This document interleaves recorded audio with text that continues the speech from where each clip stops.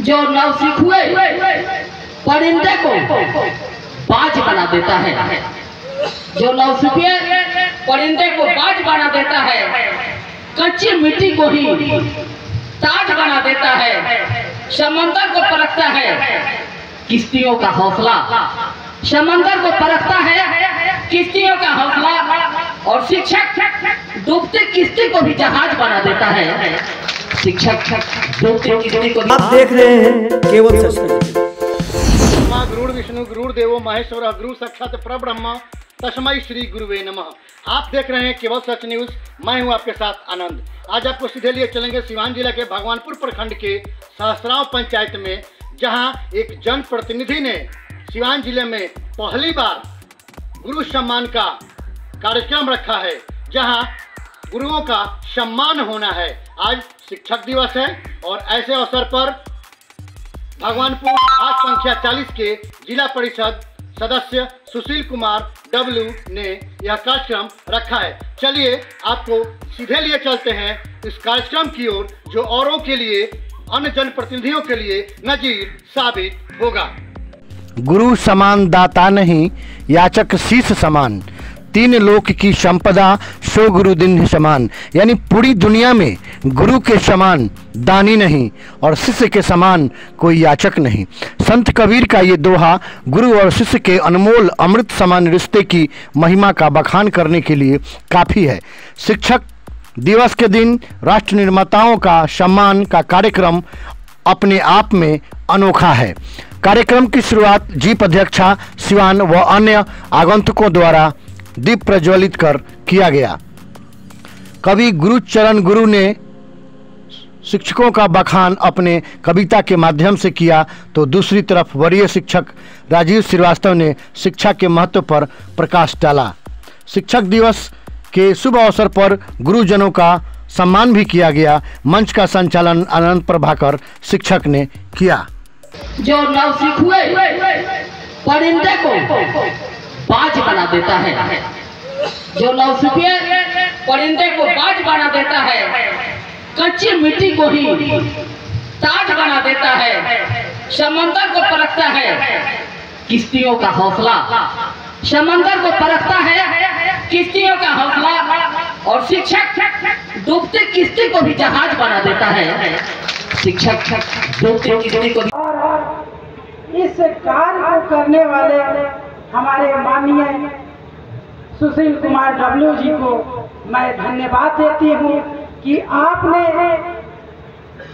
जो शिक्षक के बारे में सोचा और उसको धरातल पर उतारने का काम किया कि हम लोग वहाँ से शुरुआत करें, जहाँ से हम लोग हम लोगों की शिक्षा मिली है। वहाँ से आप शुरुआत करने का काम किए।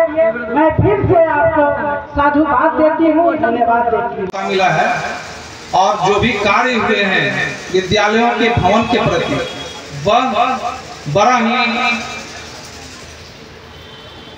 अच्छे ढंग से हुआ है। इसको कहने में कहीं नाकाफी नहीं है। आगे आज ये जो कार्यक्रम आयोजित कर रहे हैं, कुछ शिक्षकों की जो बात हो रही है, इनका ये शायद दूसरा कार्यकाल दूसरे कार्यकाल में इन्होंने एक नया कार्य शुरू किया, शिक्षकों के सम्मान का। वर्तमान में हमारी जो स्थिति है, पूरे सिवान ज़िले और पूरे बिहार की बात यदि की जाए तो काफ़ी बात विस्तृत हो सकता है। और समय उतना अनुकूल नहीं है समय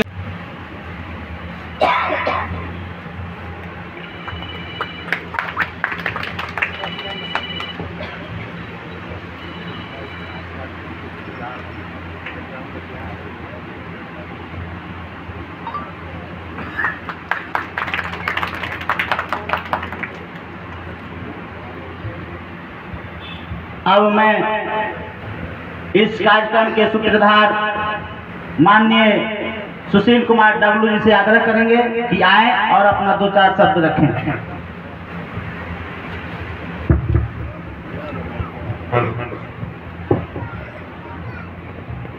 आज के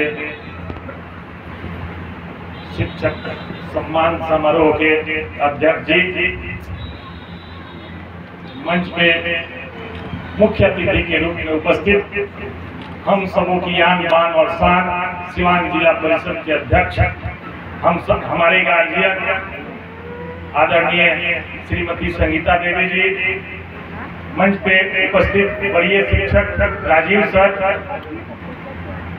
मंच संचालन कर रहे बड़े भाई आनंद प्रभाकर सर, मंच के आगे आसीन हमारे सभी गुरुजन सभी नौजवान साथी, सभी आप सबको मैं अपनी तरफ़ से शिक्षक दिवस का हार्दिक अभिनंदन करता हूँ, स्वागत करता हूँ करता हूँ।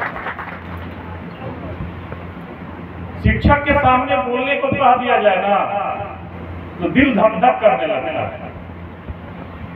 शुरू में करता हूँ अपनी बात को, लेकिन एक एक वाक्य आप लोगों के साथ ज़ाहिर करके, जब मैं जयप्रकाश विश्वविद्यालय का छात्र अध्यक्ष था और लगातार प्री पीएचडी का टेस्ट एग्ज़ाम हम लोग दे दिए थे और लगातार विश्वविद्यालय प्रशासन के खिलाफ नौ दिनों तक अनशन किए थे।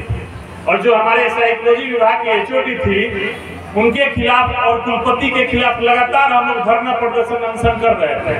रोज जिंदाबाद मुर्दाबाद के नारे लगा रहे थे। और जब अनशन खत्म हुआ, पता चला कि अगले दिन वाइवा है और उसी मैडम के सामने जाने के लिए रात भर में नहीं सोया था। तो मैं समझा एक शिक्षक की क्या माता है हमारे इसीलिए हम हम लोगों को डर लगता है शिक्षकों के सामने बोलने में। क्योंकि जब भी शिक्षक के सामने आप खड़ा हुए बोलने के लिए तो लगता है वो दिन याद आता है, स्कूल वाला दिन याद आ जाता है। कि उस समय हम लोग कैसे करते थे। खैर, कोई नहीं। अगर त्रुटि होगी तो हम समझते हैं कि आप सभी शिक्षक से हम छोटे हैं, आप माफ़ कीजिएगा। देखिए आज शिक्षक दिवस है। पूरा देश शिक्षक दिवस मना रहा है। हम लोग भी, भी सोचे कि हम लोग भी शिक्षक दिवस के अवसर पे एक कार्यक्रम रखें और आज यह कार्यक्रम रखा गया है। मैं 2016 में जिला परिषद बना। 2016 में मैं जिला परिषद बना। शिक्षक दिवस पे तो और सारे टीचर लोग बोलेंगे, हम भी थोड़ा सा बोलेंगे, लेकिन इस कार्यक्रम को मैं कैसे तय किया और इस कार्यक्रम की महत्ता क्या है हमारे ज़िंदगी में, इसीलिए और आप सभी लोग आए हैं तो इसकी क्या गुणवत्ता है, इस सब इस सब के बारे में मैं बोलना चाहूँगा। तो मैं जब 2016 संस्कार माता पिता से मिलता है। संस्कार के बाद अगर कुछ ज्ञान हमको मिलता है तो गुरुजनों से मिलता है। तो गुरुजनों के सम्मान में एक दिन के लिए अगर हम सम्मानित करने का कार्यक्रम रखते हैं, उनको सम्मानित करते हैं तो ये मेरे लिए तुच्छ बात है। और मैं समझता हूँ कि जो भी हमको ज्ञान दिए हैं, जिनके बदौलत मैं यहाँ तक पहुँचा हूँ, उनके लिए हर संभव मैं सम्मान देने का काम करूँगा और उनको सम्मानित करने, करते रहने का काम करूँगा। और ये जो आप बोल रहे हैं कि दूसरे लोग को अनुसरण करना चाहिए। सही बात है, जितने जनप्रतिनिधि हैं, जितने आम आवाम हैं, जितने अभिभावक हैं, सबको सबको इसका अनुसरण करना चाहिए और शिक्षकों को सम्मान देने का काम करना चाहिए। धन्यवाद।